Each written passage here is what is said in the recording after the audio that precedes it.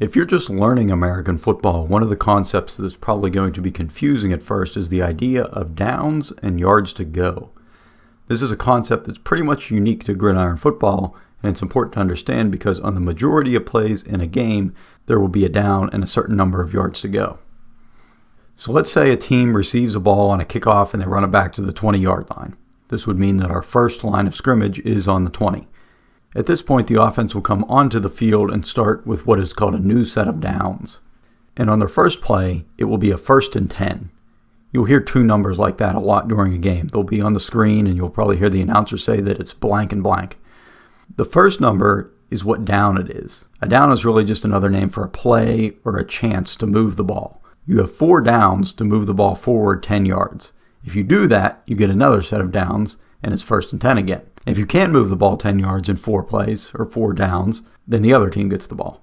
Downs were created to keep the ball moving forward. In football's early days, teams would just try to keep the ball for the whole game, so they came up with downs to stop this. It might also seem a little overwhelming for a team to have to move the ball the whole way down the field to score a touchdown. So by continuously getting first downs, they can make it to the end zone by only gaining a few yards on each and every play.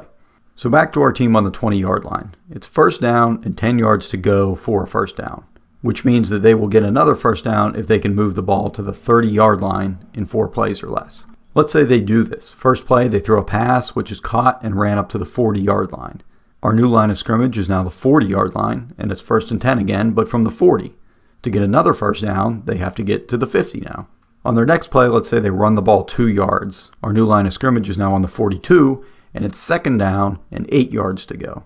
On the next play, they run again for three more yards. Now it's third down and five, or five yards to go. On third down, our offense throws a pass, but it's incomplete, so they don't gain any yards. Now it's fourth down and five yards to go.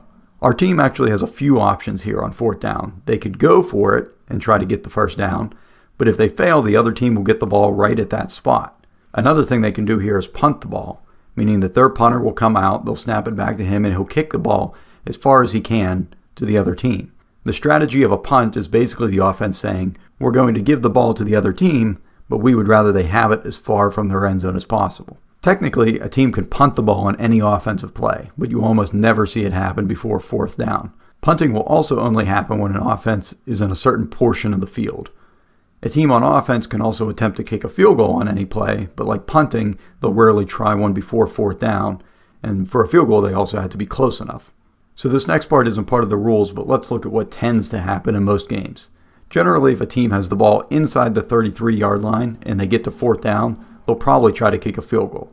Remember, if the ball's on the 33, that would be a 50 yard field goal attempt. If a team is between the 33 and say the 40 or 45, it's usually too far to go for a field goal, but a punt really isn't going to move the other team back too much, so they might actually try to run a play here and try to get the first down. Beyond the 40, they probably will try to punt. In the 2019 NFL season, about 40% of drives ended with a punt, so it's fairly common. Punting doesn't give a team any points, but it's going to gain them an advantage in what's called field position. The closer that you are to the other team's end zone, the higher chance you have of scoring. So it's to a team's benefit to push the other team back as far as they can. If this still seems a bit confusing, there is good news. If you watch a game on TV, you'll catch on to downs and yards to go quickly because of two reasons. First, there's a down and a yards to go on every play except for kickoffs, so you'll be hearing it constantly. The other thing is that on TV now, they will actually draw the line on the field. So rather than seeing this, you would see these lines on the field.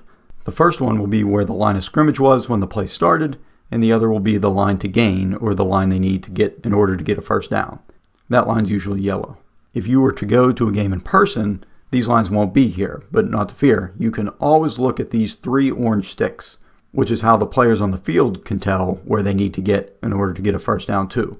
They basically show the same thing as the TV lines. So this first one here is the original first down, and it's connected with a 10 yard chain to this one, which shows where they need to get in order to get a first down. The third one will move to a new line of scrimmage on every play, and it shows what down it is. So this play was a first and 10 because as you can see, the 1 here, and it's in the same spot as the first stick. If this team were to gain 5 yards on this play, then this stick would move down 5 yards and change the number to a 2 for second down. Let's say our offense runs a play and they get the ball down to the 6 yard line. What happens now? We don't have 10 yards left on the field to get another first and 10. So if the offense gets a first down inside the 10 yard line, rather than first and 10, it's now called first and goal. And rather than being able to get another first down, they have four plays to score a touchdown. Or if they fail to get a touchdown on the first three downs, they'll probably try to kick a field goal on the fourth, but not always.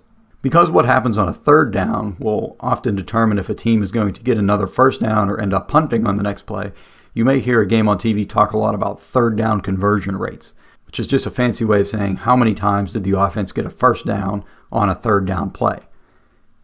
Teams will go for it a lot less on fourth down because they risk losing the ball to the other team on that spot which is why broadcasts will often make a big deal about fourth down plays and fourth down conversions as well. Most of the time, when a team starts a new drive, which means that they just got the ball from the other team and their offense has now come onto the field, they'll be able to get at least one or two first downs. Some drives will last over 10 plays, but the worst thing a team can do without turning the ball over is to fail to even get one first down. We call this three and out because the offense just had three plays and then they were forced to punt. Quick side note here you might hear an announcer on a game say that a team was forced to punt. Remember that technically the team can always go for it or attempt a field goal on fourth down, too. It's just accepted that a team will punt on fourth down when they're out of field goal range, so it's said that team is forced to punt, but it's really just a figure of speech. Because of penalties, there's technically no limit on how many first downs a team could get on a drive or how long a drive could last.